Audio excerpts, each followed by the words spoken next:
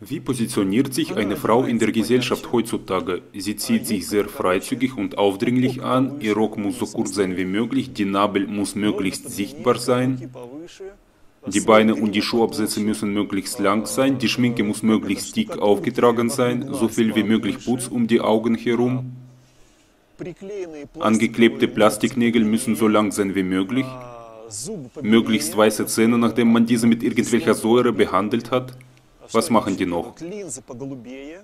Die Augenlinsen müssen möglichst blau sein. Warum muss man nur braunäugig sein? Wir wollen ja auch mal blauäugig sein, nicht wahr?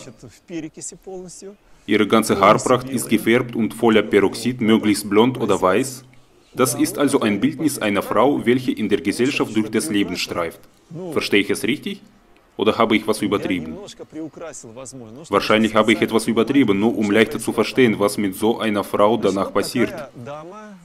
So eine Dame erscheint also auf der Oberfläche einer Gesellschaft. Sie ist also da. Selbstverständlich wird ein normaler Mann so einer Frau nicht näher kommen wollen, das ist ja klar.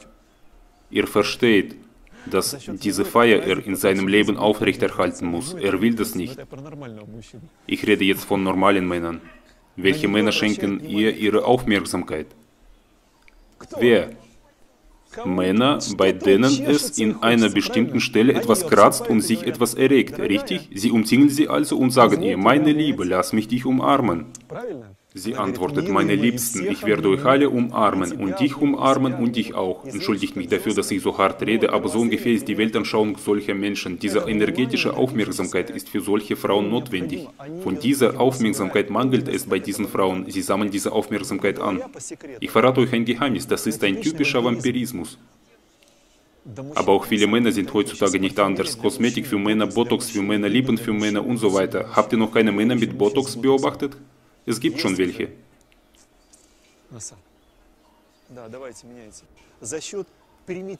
Auf Kosten von primitivsten Energien werden alle Männer systematisch irrsinnig. Schaut in die Geschichtsbücher rein. Wie viele Kriege gab es wegen diesen primitiven Energien? Wegen dieser sinnlichen Liebe haben die Menschen sehr viele Probleme. Eine Menge von Problemen. Sie töten sich dann gegenseitig, ohne dabei auch nur mit einem Auge zu zwinkern. Das ist erstaunlich, aber das ist ein Fakt. Weil mit diesen Energien können sie nichts machen. So eine Energie ist wie eine Krankheit. Steckt zuerst einen an, dann geht sie zum anderen über. Hier hat sie einen Streit in der Familie zurechtgemacht, dann geht sie weiter in eine andere Familie, danach in die dritte und die vierte und so weiter, bis zu dem Augenblick, wo ein mehr oder weniger asketischer Mensch am Horizont erscheint. Wenn er mehr oder weniger adäquat ist, wird es für ihn möglich sein, diese ganzen Energien aufzusammeln. Und dann transformiert er diese Energie mit Hilfe der eigenen Askesen und entzieht der Gesellschaft diese Last. Versteht ihr? Keiner kann diese Energie kontrollieren. Warum ich so lange über Frauen erzählt habe, die sich so in dem Lichte darstellen wollen, was sie eigentlich nicht sind. Das ist in der Tat ein riesiges Problem, selbst für die Frauen. Sie selbst verstehen es aber nicht. In der Zukunft wird es nur noch schlimmer sein. In der Zukunft werden die Beine kürzer sein und die Haut wird schlechter sein und die Lippen werden schmaler sein. Alles, womit sie jetzt übertreibt, wird in der Zukunft ins Minus laufen. Versteht ihr warum? In ihrer nächsten Reinkarnation wird sie solche Probleme haben, weil sie aus diesem Leben schon alles aussaugt, was sie in ihrem nächsten Leben hätte haben können. Sie verschwendet das alles in diesem Leben und sie verschwendet ja das alles sinnlos, dumm und ohne Perspektive. Bei den Kräften und Energien, die ihr das alles dosiert hätten geben können, ist sie nun in der Schuld. Man muss hier verstehen, dass die Frauen es sogar nicht aus Dummheit machen. Die Göttinnen sehen ungefähr auch so aus. Das sind feinstoffliche Lebewesen, auch als Apsara genannt. Sie sehen ungefähr auch so aus. Lange, schöne Beine, schöne Teile, Lippen, Brüste und alles, was dazu gehört. Über das alles verfügen sie. Aber das sind ja Göttinnen. Warum sind sie Göttinnen? Weil sie Götter an ihrer Seite haben.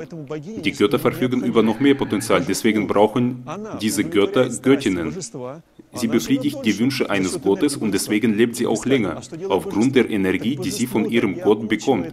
Sie fragen sich, und was ist die Aufgabe von diesem Gott? Dieser Gott managt ja diese ganzen Welten rundherum. Das sind sozusagen die Supermanager, die eine riesige Menge von Energien von ihren Untergebenen erhalten.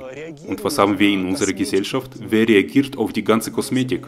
Er versteht sicherlich alle, was für Menschen darauf reagieren. Das sind solche Menschen, die überhaupt nichts unter ihrer Kontrolle haben. Sie geben in diesem Leben sozusagen ihr Letztes aus.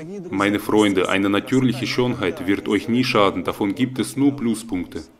Aber das, womit ihr jetzt versucht, euch aufzuputzen, das wird in der Zukunft einen Minus geben. In diesem Leben habt ihr das noch, aber in der Zukunft nicht mehr.